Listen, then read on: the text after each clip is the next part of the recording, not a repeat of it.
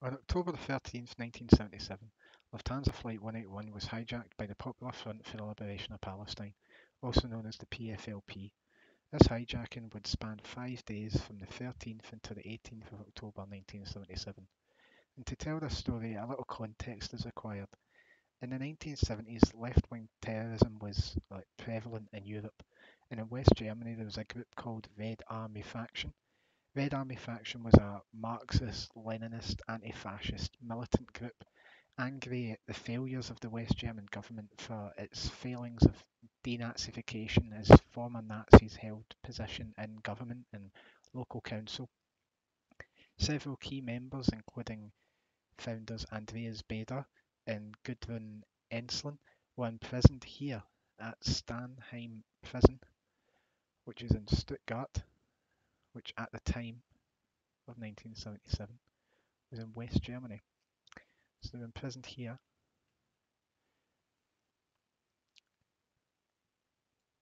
And in 1977, the activity escalated. So Baader and Ensslin, um, they, they were imprisoned before 1977. They, they were imprisoned for a few years at this point.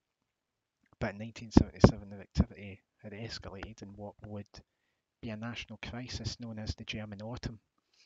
On September the 5th, they kidnapped uh, the president of the German Employers Association, Hans Martin Schleyer, who was also a former officer of the SS. So he made a pretty good target for the Red Army faction because he was important, he was influential, and he was a former Nazi.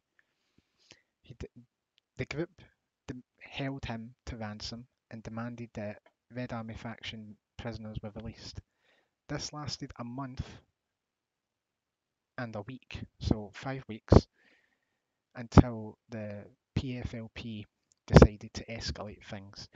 The PFLP and the Red Army faction, they shared the same ideology, they were allies, and Lufthansa was targeted as it was the German flag carrier. So they decided to hijack Lufthansa Flight 181. It left here, Palma Airport. It left Palma de Mallorca, bound for Frankfurt in West Germany. But it was hijacked around 30 minutes into the flight just as it was flying over Marseille. So I presume, round about here in this circle, before it gets to Marseille in the south of France, that's when the hijacking took place, 30 minutes into the flight. It was hijacked by four hijackers, led by Sohail Youssef Akaki, who went by the alias of Mahmoud he removed co-pilot Jürgen Vietor, leaving himself and Captain Jürgen Schumann in the cockpit. So he removed the co-pilot and the three other hijackers out in the fuselage of the of the aircraft with the other passengers. May I also add that there was 86 passengers on board and five crew members. Uh, the four terrorists were included in those 86 passengers, so there was 80, there was 82 passengers and five crew, including the co-pilot and pilot. Mahmoud wanted to go to Larnaca in Cyprus, but was told that they had to go to Roma or Rome because of insufficient fuel. They only had enough fuel to get them to Frankfurt, so if they were going to divert, they couldn't make it all the way to Cyprus and they had to go here to Roma Airport uh, for refueling. And when they landed here, which was roughly about 3:45 p.m., they made their demands of releasing 11 Red Army faction prisoners, along with two Palestinians that was held in Turkey and 15 million US dollars. The German Interior Minister, which I, I believe what I'm about to explain was a pretty immediate reaction to what was going on, um, but he, the, it was the German Interior Minister. He contacted the Italian Interior Minister and asked to shoot the aircraft's tires to prevent it from taking off. The Italians, uh, they wanted nothing to do with this. Um, they didn't want to get involved. they refueled it with 11 tons of fuel and made it depart at 5:45 p.m. It was only on the ground for two hours, and I believe that decision saved a lot of lives. If they shot those aircraft tires, a lot, people could have died. It then made its way to Larnaca in Cyprus, landing here at 8:28 p.m. And about an hour into landing here, a representative of the Palestinian Libera- Liberation Organization, also known as the PLO, a similar type of group to the PFLP, he tried to persuade Mahmoud to release the hostages, which only angered him. Um, he, he thought they'd be on the same side, but that only angered him. He got the plane refueled and they left. He wanted to go to Beirut in Lebanon, and two of the terrorists were Lebanese, two of them were from Palestine. He wanted to go to Beirut in Lebanon, but this was gaining attention pretty worldwide, especially in aviation. And so a lot of airports and airfields they closed to this flight. So they followed this flight path here and they followed it along to Beirut, who said, You're not landing here, you're closed. To Damascus, who then said, Yep, you're closed, you're not landing here. They went all across the desert to Baghdad, didn't let them in either.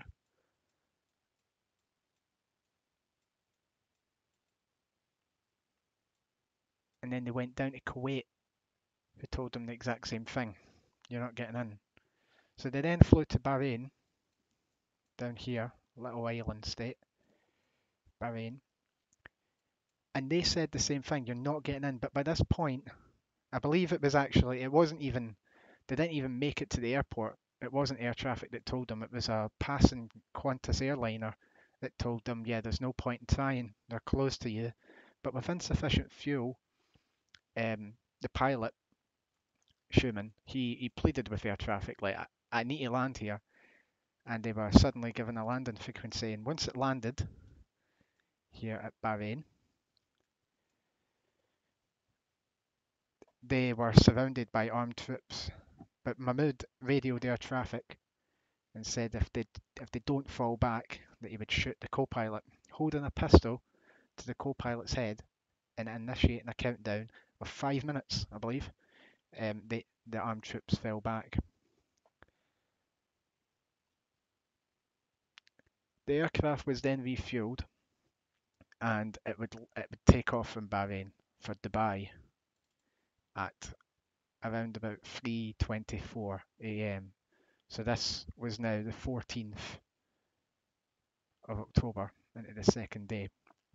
D- Dubai also initially denied entry and the runway was blocked with jeeps and trucks and fire engines to stop it from landing, but they were running low on fuel again and Schumann saying he was going to land anyway, whether the vehicles were, were removed or not. So the vehicles got out of the runway and they landed. The aircraft was stuck in Dubai for two days, and during this time, Schumann was able to communicate with air traffic control that there were two male hijackers and two female hijackers on board by dropping different types of cigarettes out the window. Dubai's Minister of Defence, though, he didn't keep it quiet and he, he spoke about this to like in interviews. And Mahmoud obviously learnt about this and threatened his life. So Schumann was in his bad books a little bit. Dubai airport is like big, and I'm not sure where because I assume I want to go back to. Okay, so this was this is 1985. I've went. I've put it back to. Hopefully we get a good image.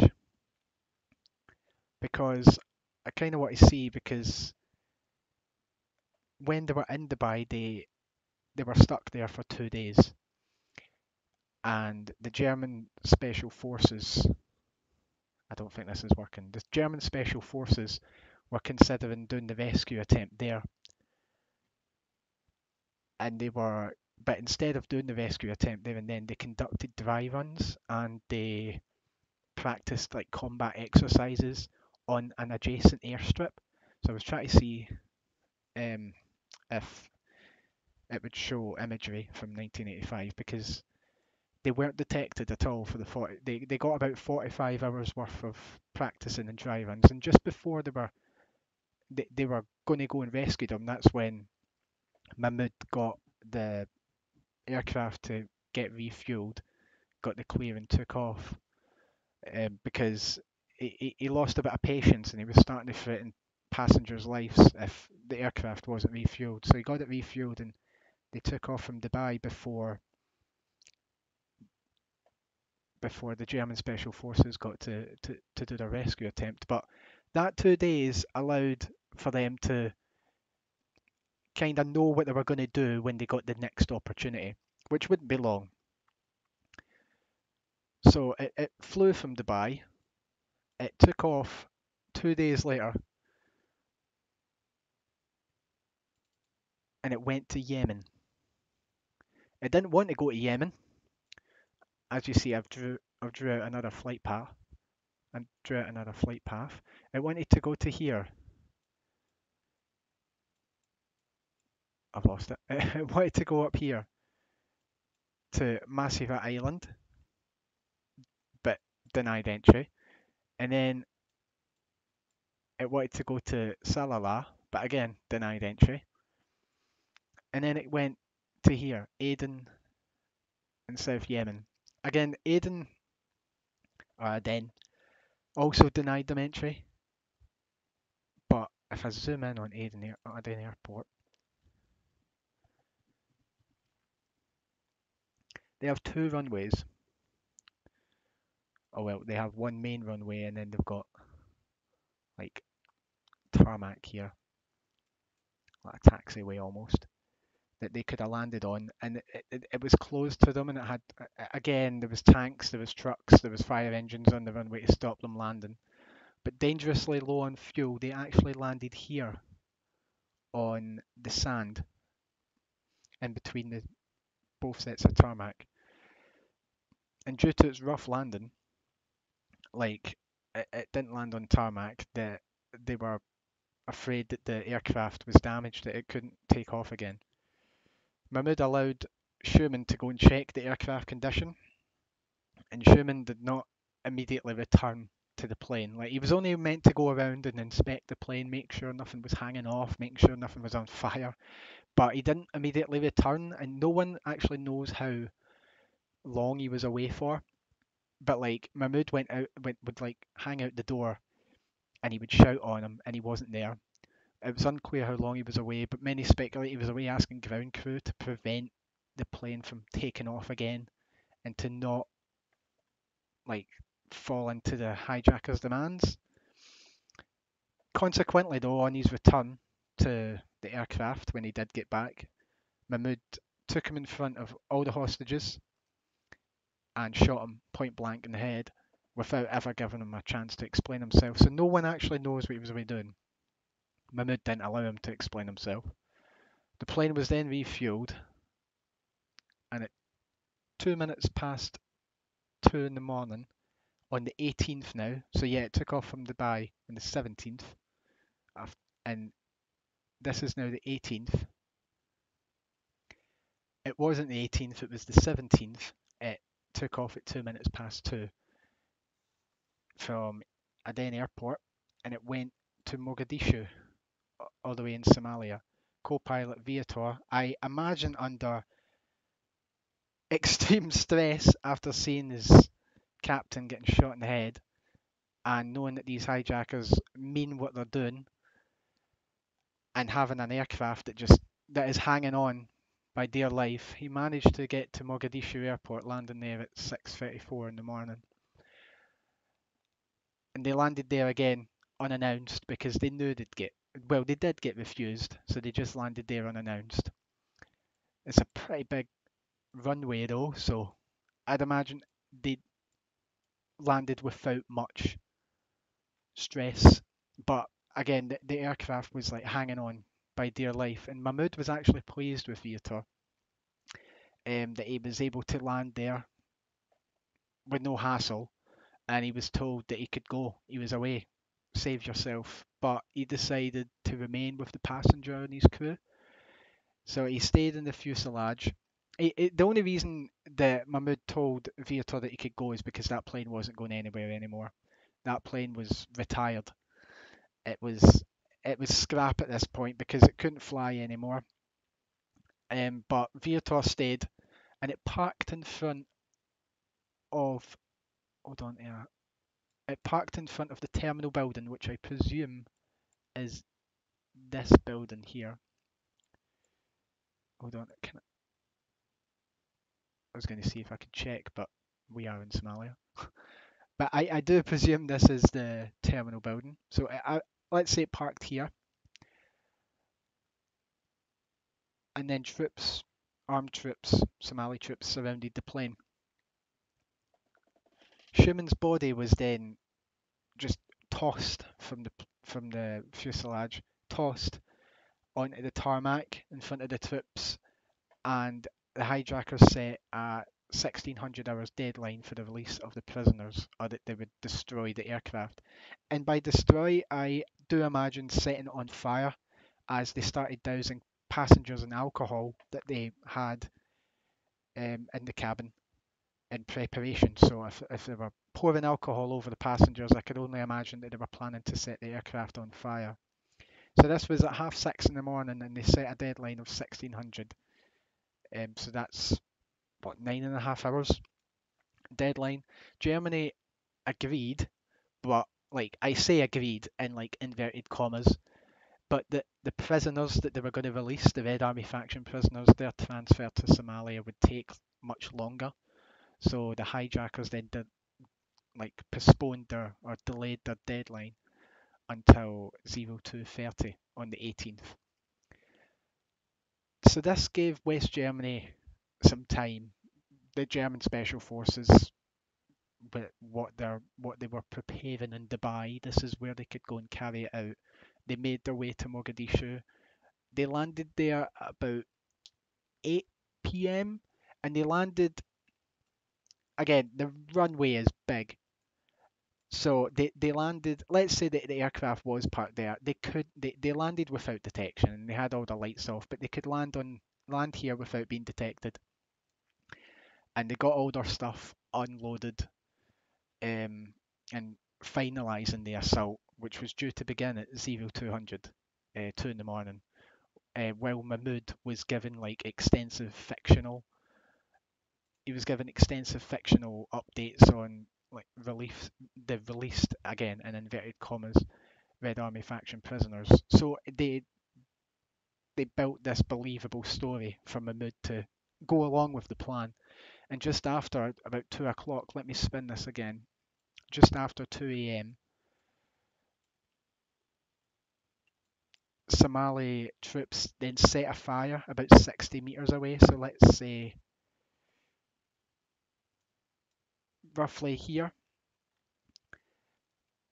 as a diversion tactic because when they set the fire up, all the hijackers went to the cockpit to see what was going on, and that allowed the German commandos to quietly climb ladders that they set up outside, opening the emergency doors. One was at the forward door, and two was at the doors on the wings. And they stormed the aircraft all at the same time, shouting for everyone to get on the ground, and they shot all four terrorists, killing three and capturing one. One commando and three passengers and a flight attendant were also injured, but it only took them five minutes. At 12 minutes past two, five minutes after commencing the assault, the aircraft was evacuated and the operation was deemed a success. And success it was because all hostages were rescued and they were flew here all the way back home in West Germany to Cologne, not even to Frankfurt, where they were initially wanting to go. They they get took to Cologne, uh, Bonn Airport, five days after they were scheduled to get back into West Germany. But following the successful rescue of the hostages, Red Army faction members, including Baader, Ensslin, and Rasp, in their prisons heard of the news and f- all three of them were found dead in their cells, apparently from suicide. Um, but it is believed it was from suicide, but there is conspiracies uh, because another member, Irmgard Muller, uh, she survived her suicide attempt. So, due to the fact that she survived what was an attempt, it's believed that the other three, um, it was uh, suicide. Also, as well, Hans Martin Schleyer, the guy that was kidnapped, he was murdered, and his body was dumped. Uh, once hearing of the deaths of the prisoners here Stammheim prison. They then contacted a French newspaper to announce his death and whereabouts. So, a lot of people died in that rescue attempt, but that is the story of Lufthansa Flight 181.